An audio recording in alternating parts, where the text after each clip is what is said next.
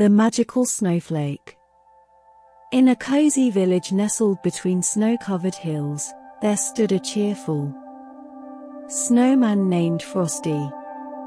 With a top hat perched jauntily on his head and a carrot nose, Frosty longed to experience the enchantment of Christmas firsthand.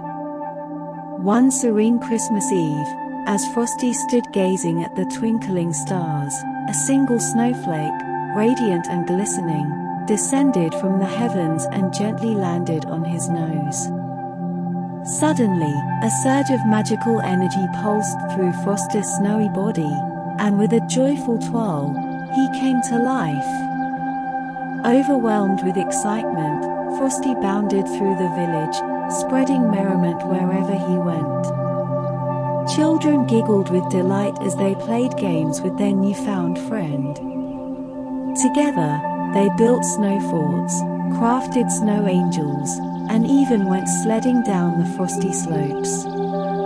As the night wore on and the stars began to fade, Frosty realized that the magic of the snowflake was starting to wane. But even as the first light of dawn peeked over the horizon, Frosty's spirit remained vibrant and alive, a testament to the enduring magic of Christmas.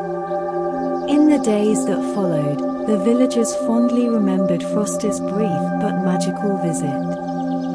Whenever they saw fresh snowfall, they couldn't help but smile, knowing that Frosty's spirit lived on in every sparkling snowflake. And so, year after year, the legend of the magical snowflake was passed down from generation to generation, reminding all who heard it of the joy and wonder that Christmas brings. For in the heart of every snowman and in the delicate beauty of every snowflake, the spirit of Christmas lives on, filling the world with love, laughter, and endless possibilities.